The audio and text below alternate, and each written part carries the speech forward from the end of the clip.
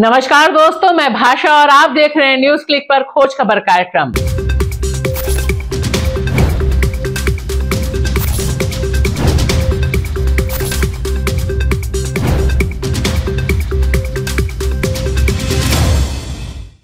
Budget सत्र, उसका अभिभाषण राष्ट्रपति द्वारा, और देखिए यह विहंगम दृश्य। आगे आगे संगोल चल रहा है, यानी राजदंड। पीछे पीछे राष्ट्रपति और दोबारा संगोल को जिस तरह से लाया गया, यह विहंगम दृश्य निश्चित तौर पर भारतीय लोकतंत्र की पूरी विकास यात्रा को कह रहा है और जो कुछ भ्रम रह गया, वह राष्ट्रपति महोदया का जो अभिभाषण था, उसने जिस तरह से 2024 का चुनावी एजेंडा क्लियर किया, मकसद बहुत साफ़ हो गया कि आने वाले दिनों में सदियों का जो इंतज़ार रहा राम मंदिर का, यहाँ मैं कोट अनकोट सदियाँ बोल रही हूँ, क्योंकि द्रौपदी मुर्मू इसी का ज़िक्र इसी तरह से कर रही हैं कि वह पूरा हुआ, राम मंदिर का ज़िक्र वह करती हैं, आर्टिकल 370 का वह ज़िक्र करती है कि किस तरह से उसे हटा दिया गया, फिर उन्हें याद आता है तीन तलाक और फिर नागरिकता संशोधन कानून।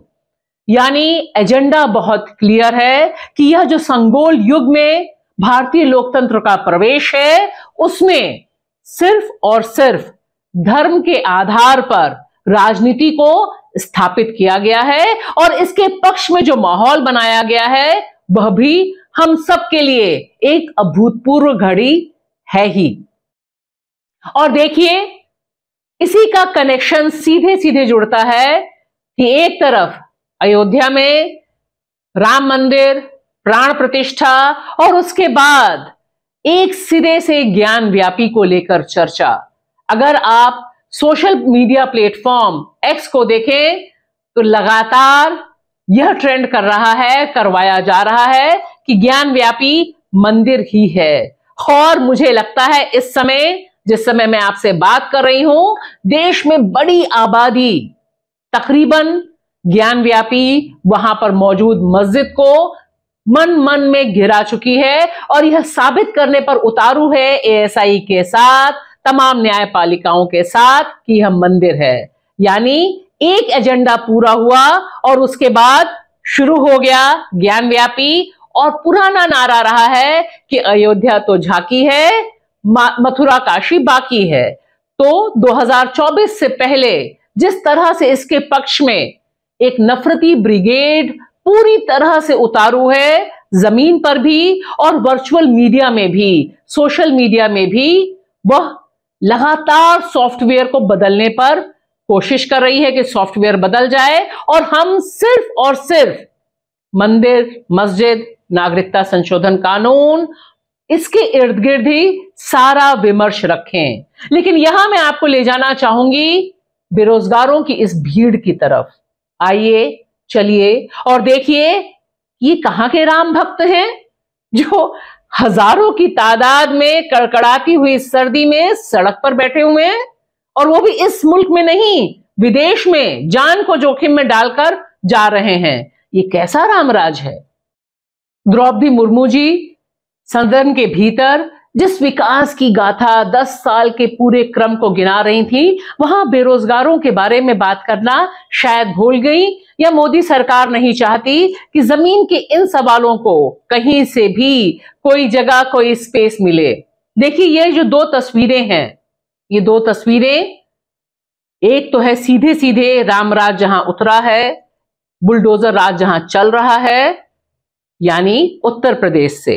उत्तर प्रदेश सरकार ने जिस तरह से दस हज़ार के करीब वैकेंसीज का पूरा खाता खोला, वो जाएँगे इसराइल जी हाँ हम सब जानते हैं कि इसराइल किस तरह से फिलिस्तीन पर युद्ध बर्पा कर रहा है और इस युद्ध के दौरान उसे बड़े पैमाने पर ऐसे लोगों की ज़रूरत है जो छोटे छोटे काम कर सकें। यह लिस्ट भी उसने दे रखी है, जिसे केयर गिवर्स कहते हैं। और देखिए जिस तरह से उत्तर प्रदेश की राजधानी लखनऊ में ये हज़ारों लोग उमड़े थे कि वहाँ जाकर वे नौकरी करेंगे, क्योंकि यहाँ पर दो वक्त की रोटी का जुगाड़ नहीं हो पा रहा। द्रौपदी जी, मोदी जी और योगी जी, दरअसल यह है आपका रामराज कि इतने साल के शासन के बाद, अयोध्या के चमचमाते विकास के बाद इतनी बड़ी फौज खड़ी है। नौकरी सिर्फ़ कुछ हज़ार की है, जिसमें से तीन हज़ार अस्सी लोगों को आपने चुना। लेकिन देखिए, ये जो भीड़ है, यह भीड़ आतुर है कि जान जाए तो जाए, लेकिन नौकरी मिलेगी, अच्छे पैसे मिलेंगे, क्योंकि इस वतन में धर्म धर्म की घुट्टी, धर्म के आधार पर नफरत के अलावा तो कुछ नहीं मिल रहा। और साथ ही साथ देखिए, यह तस्वीर यह तस्वीर भी डबल इंजन की सरकार हरियाणा की है। हरियाणा में खट्टर जी ने भी इसी तरह से दरवाजे खोले और देखिए किस तरह से लोग यहाँ पर भी जुटे। हज़ारों की तादाद में सुबह से अपना सब कुछ बाँध कर लाए हुए हैं।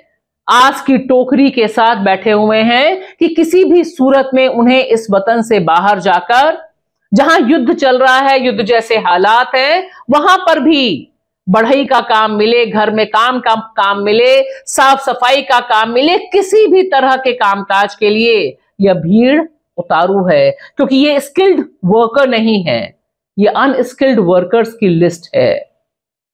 तो दोनों जगहों पे जो डबल इंजन की सरकार है, वह जब दरवाज़ा खोलती है और क्योंकि हम सब जानते हैं कि भारत सरकार इसराइल की किस तरह से मदद कर रही है और इसराइल में अपने निवासियों को भेजने के लिए तैयार है, उस क्रम में यह जो भीड़ है, यह दरअसल बता रही है कि ज़मीन पर विकास कहाँ उतरा है, रोज़गार कहाँ है। क्योंकि अगर सोशल मीडिया प्लेटफॉर्म्स पर आप नज़र दौड़ाएँगे तो आपको लगेगा कि तमाम हिंदू तमाम हिंदू नौजवान सिर्फ़ और सिर्फ़ मंदिर मंदिर और मंदिर की बात कर रहे हैं। रामराज के लिए जान को जोखिम में डालने को तैयार हैं। लेकिन हकीकत ज़मीन पर कुछ और है। और इसी हकीकत को न मोदी जी चाहते हैं कि हम आप पहुँचा पाए, इस पे बात कर पाए।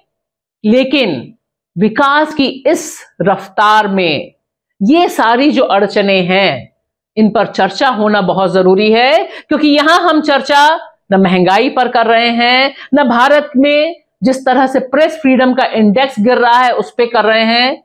हम बात सिर्फ़ दो जून की रोटी की कर रहे हैं। शुक्रिया।